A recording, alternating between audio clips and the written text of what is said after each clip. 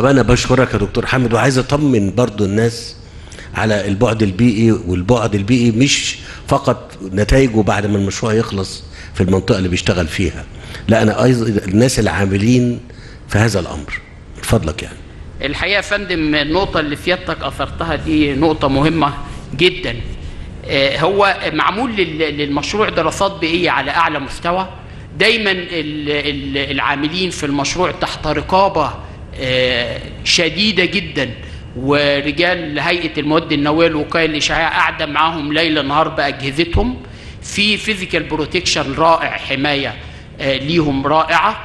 آه، حتى إحنا يا فندم منظمين ساعات عملهم بحيث ما يتعرضوش لجرعات آه، عند limit معين بنحط العامل قدام ساعات معينة.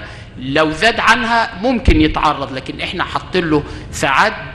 تاني حاجة آه، سيادتك بالنسبة للمونازيت بالذات والزيركون دول محفوظين في package معين آه، بيمنع آه، التسريب الإشعاعي تماما. آه، المنظومة قوية جدا لأن يهمنا في الأول والآخر آه، بيئة العمل وسلامة بيئة العمل بما فيها العاملين. فأنا بطمن سيادتك جدا للبعد البيئي متوفر تماما. آه، مفيش أي مشاكل بيئيه ممكن يتعرضوا لها خالص. ساعات العمل منتظمة الجرعات الإشعاعية ضعيفة لا ترقى. إن هي تصيب أحد لا قدر الله كل شيء تقريبا محسوب في هذا المشروع الصديق تماما للبيئة.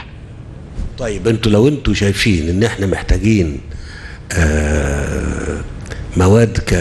لارتدائها للعاملين أو كده إحنا مستعدين نعمل ده. يعني نبقى متحوطين أكتر طبعا. حريصين أكتر. طبعا. عشان في النهاية ما هو اللي شغال مش شغال يوم ولا شهر.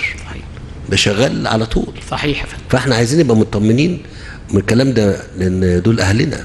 طبعا.